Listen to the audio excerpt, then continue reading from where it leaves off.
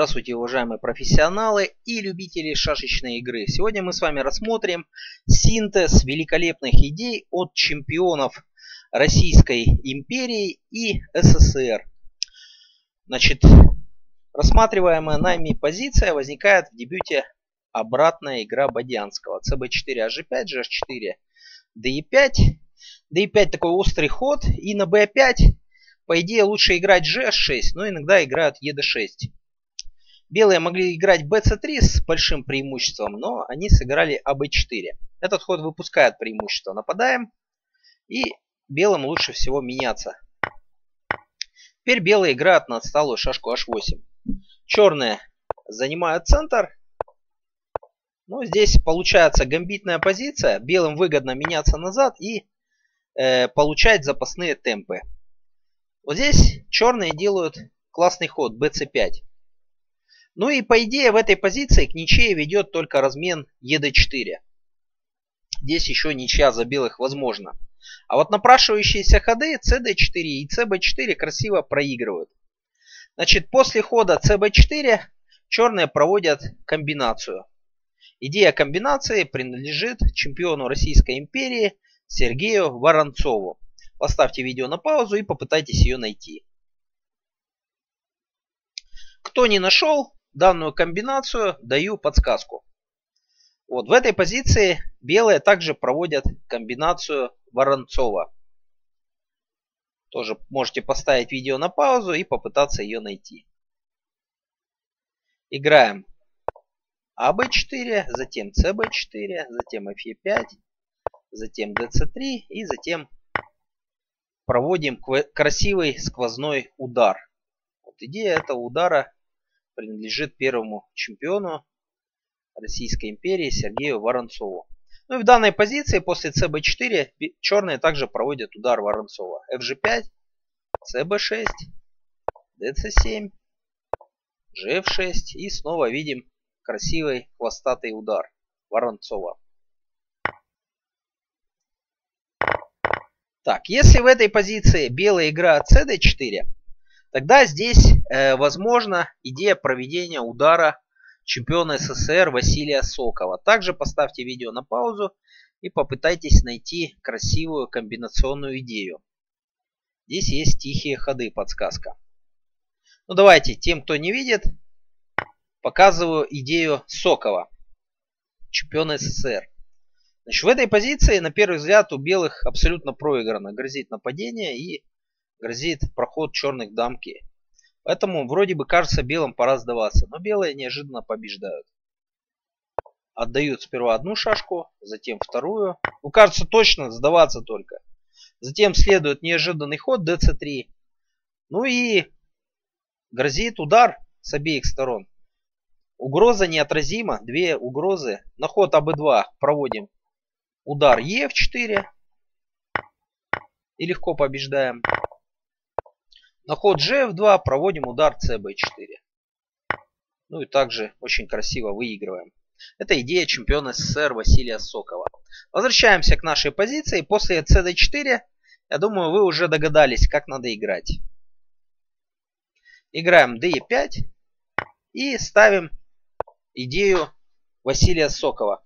Теперь грозит два хода. fg5 и dc5.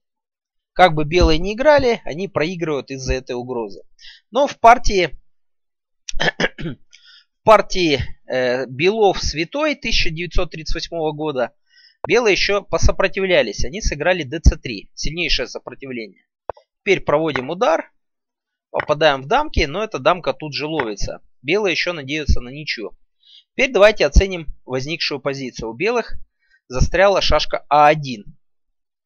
То есть, по идее, у черных должно быть преимущество. Ну и здесь действительно черные побеждают. Играем d5, не давая хода cd4 и затем развития шашки а1.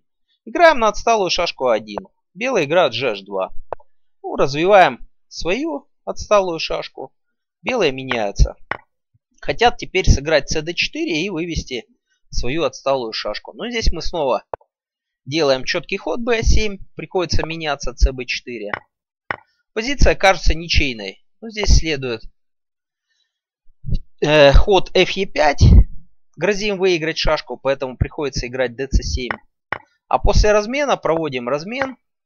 И возникает фрагмент этюда чемпиона СССР, гроссмейстера Зиновия Цирика. Давайте дам подсказку. Так, вот в этой позиции белые начинают и выигрывают. Можете поставить видео на паузу и попытаться найти красивый выигрыш за белых. Я уже разбирал данную позицию. Играем GF4, ну черные, допустим, FE7. Играем FE5. Меняться, естественно, нельзя, потому что белые тогда занимают оппозицию и легко побеждают. Поэтому черным в этой позиции приходится играть HG7. Тогда играем ED2. G6.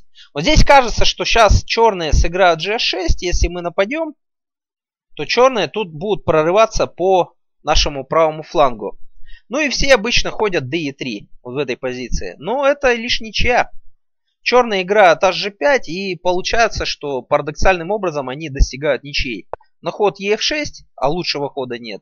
Черные прорываются, наоборот, по левому флангу белых и легко достигают ничей. Поэтому возвращаемся вот к этой позиции. В этой позиции, конечно, надо сделать сложнейший ход dc3. В чем идея? Мы не даем прорваться по левому флангу, а по правому черные не успевают. Мы заходим в любки. Ну и здесь как бы черные не играли, они проигрывают. Если сюда, то нападаем с выигрышем. Если сюда, то зажимаем черных и выигрываем с помощью приема запирания. Возвращаемся к нашей позиции. Я думаю, тут вы уже без труда найдете выигрыш за черных. Белая игра cd2. Мы снова занимаем центр. Играем fe7. Ну и здесь вы уже знаете, что ед6 это лишь ничья после аб4. А правильно играть ef6. Ну и здесь черные легко побеждают. В книге Геннадия Хацкевича «25 уроков шашечной игры» указана э, данная позиция и выигрыш. Э, указана партия Саидян Хацкевич. На самом деле, конечно, авторство э, данной позиции принадлежит ленинградскому мастеру Петру Святому, так как впервые она была разыграна в 1938 году. Так что Друзья, восстанавливаем историческую справедливость. Ну и э, тоже хочется сказать несколько слов об этюде Цирика. Э,